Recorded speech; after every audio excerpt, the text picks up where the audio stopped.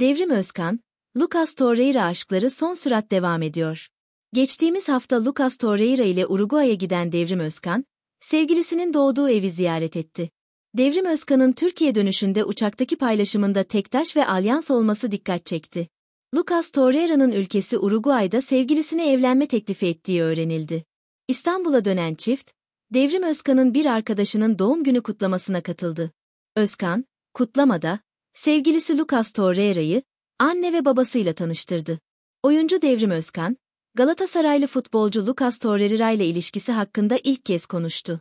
Güzel oyuncu, biz Torreira ile önce çok güzel arkadaş olduk sonra ilişkiye evrildi dedi. Sarı, kırmızılı taraftarın kendisine yenge demesiyle ilgili sorulan bir soruya yanıt veren ünlü oyuncu, ben yenge değilim, Lucas enişte. Ben Türk'üm. O yüzden, ona enişte desinler ifadelerine yer verdi. Güney Amerika basınında Torreira'nın oraya transfer olacağına dair haber çıkmış. Onunla birlikte gider misin sorusuna da, Devrim Özkan onun yolunu buluruz bir şekilde.